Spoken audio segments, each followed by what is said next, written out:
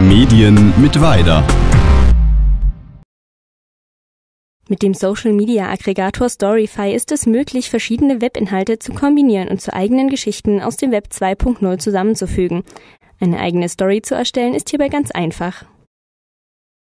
Los geht es mit dem Button New Story. Es erscheinen zwei graue Felder, in denen Titel und ein kurzer Abriss der Geschichte eingegeben werden können.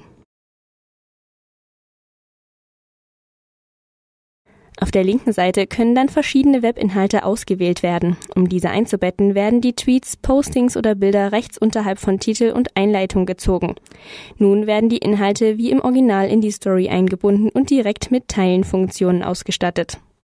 Praktisch ist zudem die Suchfunktion, mit der große Plattformen wie Facebook, Twitter, YouTube und Flickr durchstöbert werden können. Achtung! Stets den Schutz urheberrechtlichen Materials beachten und lieber zu einem Inhalt mit Creative Commons Lizenz greifen. Die Inhalte erscheinen jetzt untereinander. Per Drag and Drop kann die Reihenfolge jederzeit geändert werden.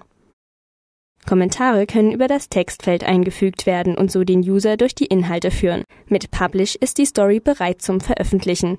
Anschließend genügt ein Klick, um die Urheber der eingebetteten Inhalte via Facebook oder Twitter zu informieren.